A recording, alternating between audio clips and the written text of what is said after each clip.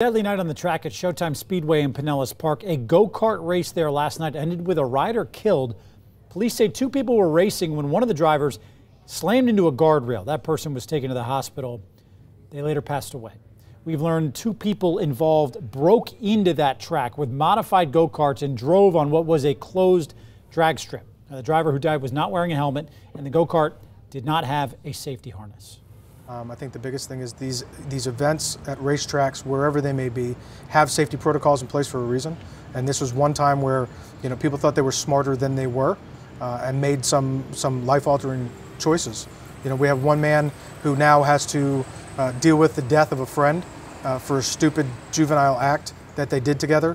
Uh, the, the deceased is, was just turned 29 years old, prime of his life, racing a go-kart at 10 o'clock at night on somebody else's property in the dark with no safety equipment. I mean, it's a recipe for disaster, and unfortunate, unfortunately, the worst outcome occurred. Crash is still under investigation. The driver of the other go-kart was interviewed by police before they released him. So far, no charges have been filed.